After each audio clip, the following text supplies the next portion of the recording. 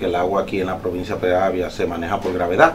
Eh, la posición de la zona norte es la más difícil, pero gracias a Dios y al apoyo de la gente y a la espera de la gente, ya ahí contamos con una macro red que se había instalado antes de nosotros entrar en nuestra gestión. Ya lo que procede ahora en los próximos días es a conectarse en lo que tiene que ver en la Luis Alba, en la Luis Marcano, desde la esquina Duarte hasta la esquina Nuestra Señora de Regla, alrededor de unos 120 metros lineales de tubería de 12 pulgadas. Cuando esto se empalme,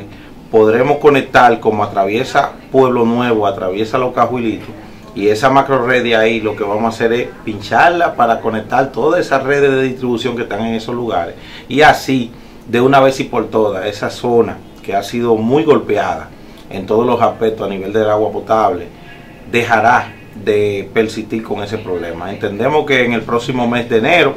vamos a hacer el trabajo de la macro red y de que ahí ya nosotros vía provincialmente vamos a ir conectando en cada punto donde atraviesa este, esta demarcación. Dice que son muchas las situaciones en las que se continúa trabajando para que la provincia Peravia cuente con un servicio eficiente, pero que las situaciones han significado muchos retos para su administración. Sobre otra de las zonas azotadas por la falta de agua, que lo fue la comunidad de Galeón, aseguró que ya está casi lista la estación de bombeo, destacando los trabajos realizados también en el distrito municipal del Limonal. Entonces, en lo que tiene que ver con Galeón, ya Dios mediante se instaló los equipos en el día de ayer y antier, y ya, si no es el viernes, o sea mañana, sería el miércoles que estaríamos probando con la nueva estación de bombeo que fue creada en, este, en esta gestión.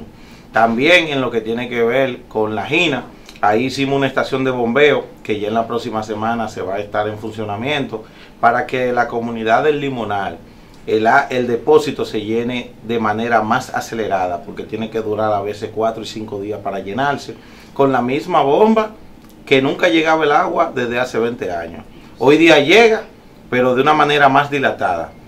Eh, gracias a que todas las tuberías estaban pinchadas y tuvimos que poner una línea de impulsión nueva, ahora con esta nueva estación de bombeo, de bombeo que consta con dos bombas, el agua se e impulsará de manera más acelerada y se llenará más rápido el depósito y lo que es el limonal tendrá agua más frecuente. Se recuerda que la falta de agua ha sido una de las quejas latentes en diferentes sectores de la población, entre estas la zona norte del municipio de Banilejo, Limonar, Cañafistol, Galeón, entre otras.